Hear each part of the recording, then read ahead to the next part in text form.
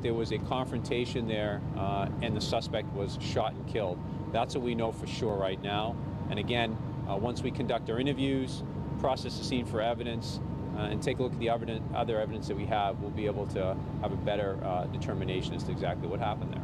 And we haven't processed the scene. What we can tell you is that there is a weapon in the suspect's vehicle, uh, but without doing further work on the case, I can't tell you whether or not he fired. Again, State Police Major Crime Unit will be processing now. We'll be looking at all the weapons involved to try to determine what exactly happened out there.